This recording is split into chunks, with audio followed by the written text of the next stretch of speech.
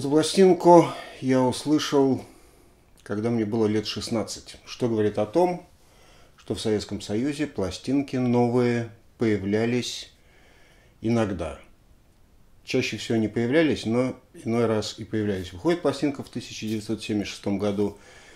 Бац, в том же году школьник Леша Рыбин уже не то что слышит, а держит в руках фирменный диск The Rolling Stones Black and Blue. Пластинка была не моя, я взял ее послушать у старших товарищей, потом отдал, записав ее на магнитофон. Но факт налицо.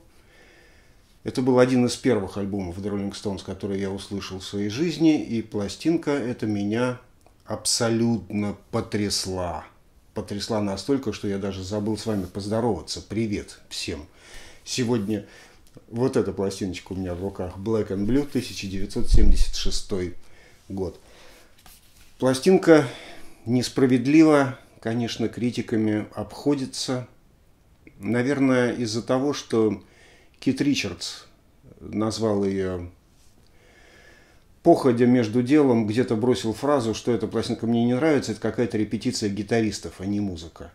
И критики, конечно, подхватили это дело, раздули, и все стали говорить, что ну, это не Rolling Stones, это просто гитарные джемы какие-то, слепленные в песне, что абсолютно неправильно.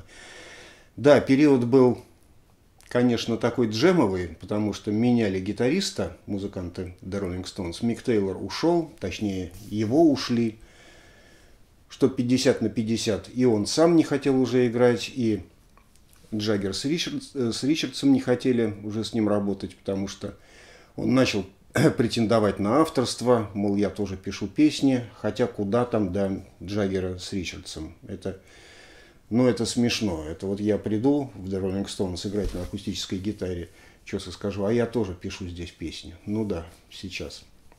Хотя Мик Тейлор отличный гитарист, конечно, но он совершенно не вписывался, конечно, в группу The Rolling Stones. Хотя сыграл там много, хорошо, все по делу. Но не было того состояния стоунзовского у него. И группа стала выбирать нового гитариста себе. Потому что нужны были все-таки два гитариста.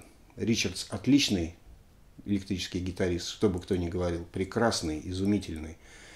Но для полного звучания на концерте нужно было две гитары, поэтому рассматривалась кандидатура Рэй Галлахера, рассматривалась кандидатура Джеффа Бека. Ни тот, ни другой не устроили команду. Вот так вот. А устроил Рон Вуд, который долгое время потом, много-много лет не входил в официальный состав The Rolling Stones, а считался нанятым гитаристом получал зарплату. Не получал, не был в доле, что называется. Только спустя долгие годы его приняли наконец-то уже в э, ядро, что называется, коллектива. Но суть не в этом. А суть в том, что действительно музыканты джимовали очень много времени, проводя в студии, играли с одним музыкантом, с другим, с третьим, с четвертым, поиграли с Ронни Вудом, и он идеально вписался совершенно. Ну, Рон Вуд, что говорить, замечательный музыкант – художник, кстати говоря. Говорят, что хороший человек, не знаю, я с ним не знаком, но приму на веру. То, что человек он хороший, лицо у него очень располагающее. Ну и музыка, которую он играет, тоже располагает к тому, что парень хороший. Парень. Была такая песня какая-то советская. Парень хороший, парень хороший. Ну ладно, проехали, парня хорошего. Так вот, пластинку почему-то не располагают в разряде главных альбомов The Rolling Stones. Хотя у The Rolling Stones все альбомы главные. Скажу вам такую вещь. Известная фраза, не знаю, не помню, кто ее сказал первым, что Битлз – это боги, а The Rolling Stones – это лучшая группа в мире. И я под этим подпишусь кровью, чем хотите подпишусь. Потому что если меня спросят просто так вот – общо. Вот придет человек, который ничего не знает о, о том, что существует рок-музыка, что это такое, как это. Спросит меня, что такое рок-музыка, Алексей? Я скажу, это The Rolling Stones. Послушайте The Rolling Stones, это вот, собственно, рок-музыка. Ну и еще 10 тысяч команд, которые тоже играют рок-музыку, но в принципе олицетворение это вот это. Не именно этот альбом, а вообще The Rolling Stones. Что бы кто ни говорил про то, что кто-то там играет на ненастроенных гитарах, кто-то играть не умеет, ля-ля-ля. Это слушать мне смешно и отчасти печально. Потому что, ну, жалко людей, которые не не это самое, ну, не это, не, не того, не туда, да. Никого не хочу, никого не хочу обидеть, кстати говоря. Если кто-то любит группу Jet Rotal, например, то Ян Андерсон сказал в одном из интервью, которое у меня есть, я его покажу, оно на обложке одного из концертных альбомов Jet Rotal опубликовано. Его там спрашивают, что вы думаете о рок-музыке, о рок-группах, кто вам нравится? Андерсон отвечает, что вообще, по большому счету, существует две группы. Если исключить Битлз, как я уже исключил в самом начале, то рок-музыка – это две группы. Это Led Zeppelin и Rolling Stones, сказал Ян Андерсон. А он-то понимает, понимает, наверное, да. Так вот, возвращаюсь к этой пластинке. Пришел Рон Вуд, которого принимали с осторожностью, естественно, потому что, ну, Rolling Stones это большая группа, большой бизнес уже. Как-то вот удачно совмещалось у Rolling Stones всегда и зверство, и расхлябанность, раздолбайство и высочайший профессионализм, что бы кто ни говорил там про какие-то там расстроенные гитары, мне смешно и грустно, как я уже сказал, это слышать. И ответственность огромная, и композиторские таланты, и исполнительское мастерство, и все это вместе гигантский бенд The Rolling Stones. И вводить туда нового человека, конечно, страшно и опасно, и трепетно. И в результате появилась вот эта пластинка, уникальная в дискографии коллектива. Уникальна она тем, что она вообще в принципе не похожа на Rolling Stones. Здесь две песни, которые можно назвать классическими песнями Стоунзов. Это Hand of Fate, вторая на первой стороне, и последняя песня Crazy Mama. Если кто-то не слушал, вообще никогда этот альбом не слышал, я советую даже начать с этих песен, потому что это классический мясной, гитарный, среднетемповый рок, тысячепроцентной пробы рок Hand of Fate и Crazy Mama, две песни. Мясо в гитарах такое просто, барабаны, бас. Кстати, барабанщик группы, в которой я играю, ненавидит The Rolling Stones именно за игру Чарли Уотса на барабанах. А я даже знаю почему и это говорил сам Чарли Уотс. Он говорил, что мы отличаемся от всех групп мира тем, что у нас не гитара играет в барабаны, а я играю в гитару Кита Ричардса. Он то вперед, то назад, а я все время на него смотрю и играю в него.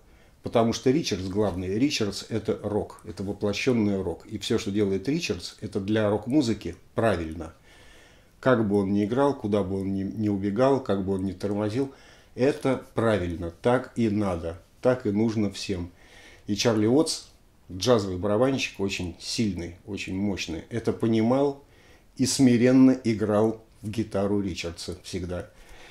Вот, а му, барабан не мой, конечно, фу-фу-фу, не, что я сказал, а барабанщик группы, в которой я играю, это очень не любит и считает, что гитара должна играть в барабаны, а не наоборот. Но про две песни я сказал Hand of Fate и Crazy Mama.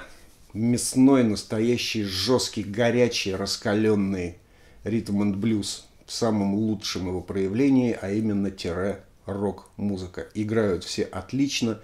Здесь помимо, кстати, Ричардса и Ронни Вуда играют еще пара гитаристов, таких как Харви Мэндл, мощнейший джазовый, джаз-роковый, роковый и блюзовый гитарист. У меня есть несколько его пластинок сольных Харви Мэндл. Вообще у него очень, очень много альбомов.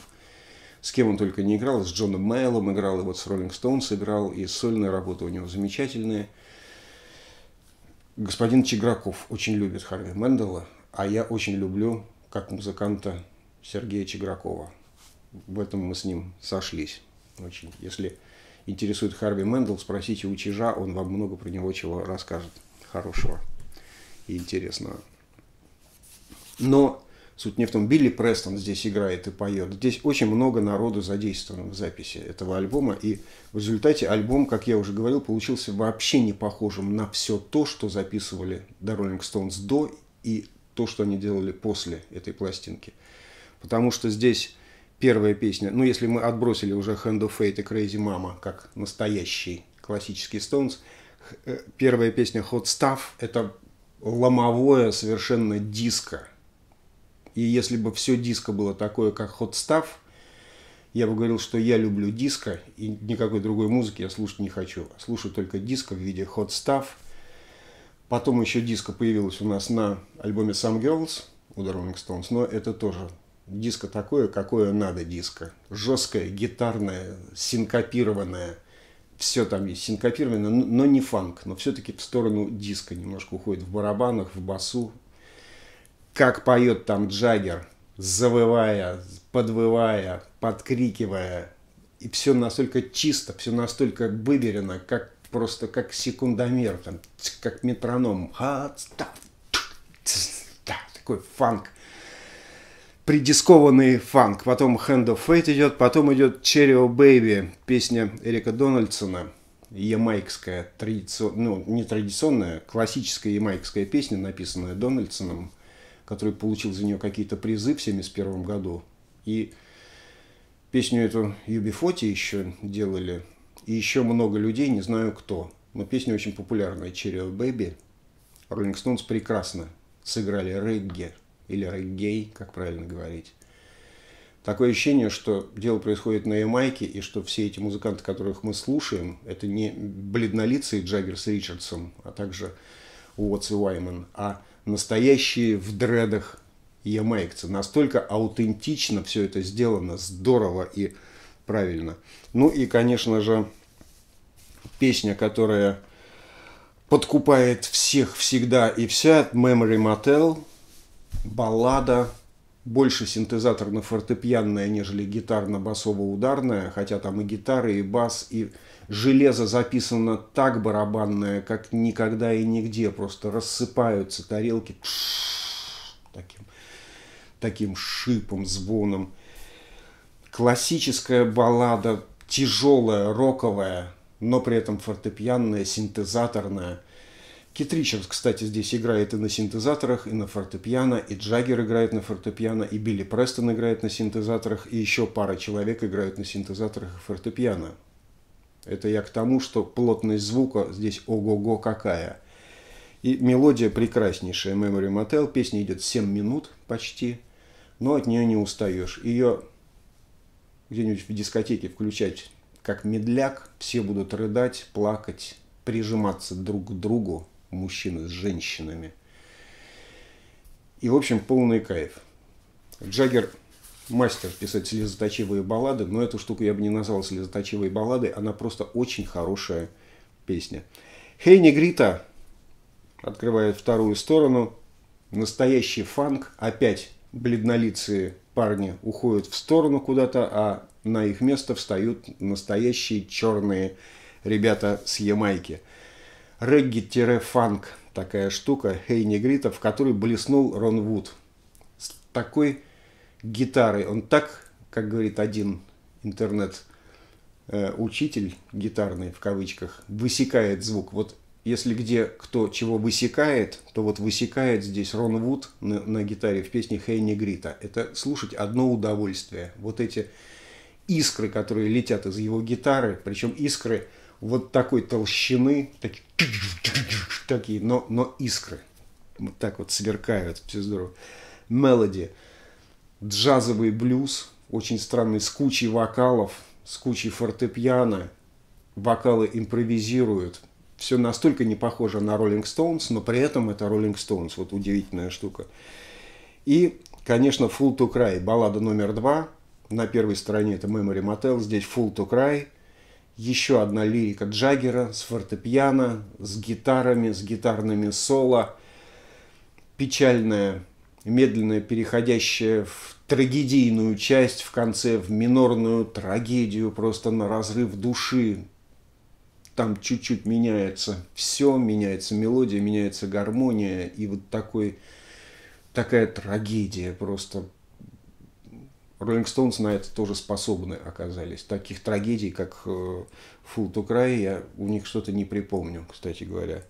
Ну и Crazy Mama в конце под завязку, то, о чем я говорил с самого начала. Здравствуйте, мы те самые парни Rolling Stones, которые лучше всех на свете играют рок-н-ролл, ритм н блюз и рок-музыку вообще. В общем, замечательный альбом. Жаль, что про него критики не говорят много. Ну и пусть не говорят, а мы говорим, слушаем, любим.